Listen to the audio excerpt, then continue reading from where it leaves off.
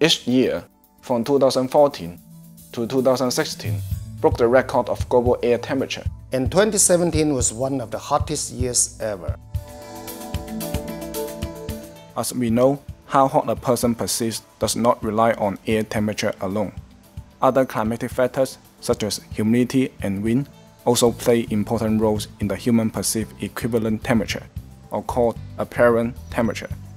In hot days, humidity brings surplus heat stress to human body, so a person feels hotter than air temperature when he is in a humid environment. For example, in summer, when we travel from a hot and humid region, like Hong Kong, to a hot but dry region, we usually feel less hot in the dry region. Even the air temperatures in the two regions are the same. When it is cold, a strong wind can make a person feel even colder, even though the air temperature itself does not decrease. As a matter of fact, under climate warming, not only air temperature increases, other climatic factors, such as humidity and wind speed, also change. Therefore, apparent temperature may change differently compared to air temperature. Scientists use analysis datasets, which assimilate observations and numerical models to represent the past and current climate, and employ global climate models to simulate and project future climate under different carbon emission scenarios in the 21st century. Our research team used four analysis datasets and outputs from seven GCMs to estimate the human perceived equivalent temperature from simulation of air temperature, humidity, and wind.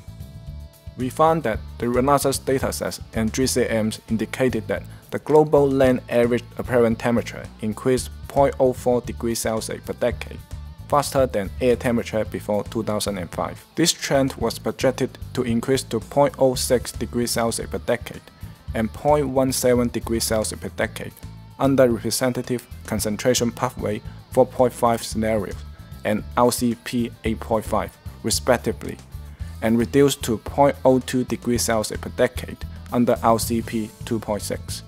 The faster increases in apparent temperature are more considerable in low latitude areas dominated by hot and humid climate than the middle and high latitude areas.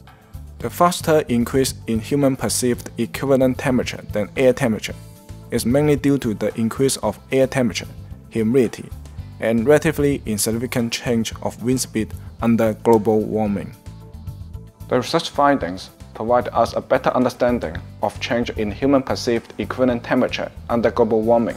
Based on the results, we can see that global warming has relatively stronger long-term impacts on apparent temperature than air temperature under both extreme and non-extreme weather conditions suggesting that climate change adaptation should focus on heatwave events and also should be extended to the whole range of effects of temperature increases. Compared to air temperature, apparent temperature is a better indicator of thermal discomfort or stress of human, which has direct impacts on human health, labor productivity, heat-related morbidity, and mortality. Our study of the faster increases in apparent temperature has produced important findings for this kind of climate change impact assessment, providing a strong scientific support for more stringent and effective mitigation efforts to combat global warming. Therefore, the world, as perceived by human beings, is expected to become hotter than that just indicated by air temperature under global warming. Cities and regions especially those located at tropical and subtropical regions, dominated by hot and humid climate like Hong Kong, will face bigger threats from hot weather, and therefore greater efforts for climate change mitigation are vital and urgent.